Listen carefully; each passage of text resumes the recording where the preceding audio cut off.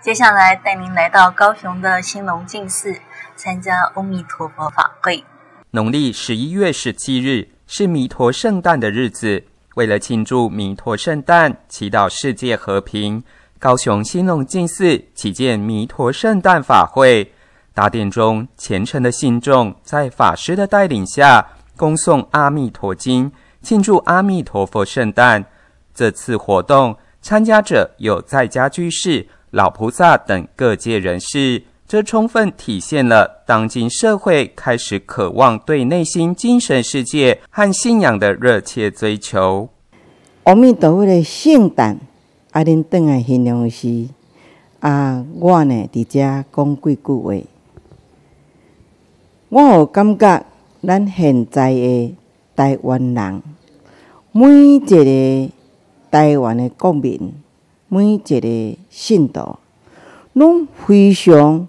非常的虔诚，非常非常的认真，伫赞赏着南无阿弥陀佛的圣号。亲像讲，今仔日是阿弥陀佛的圣诞。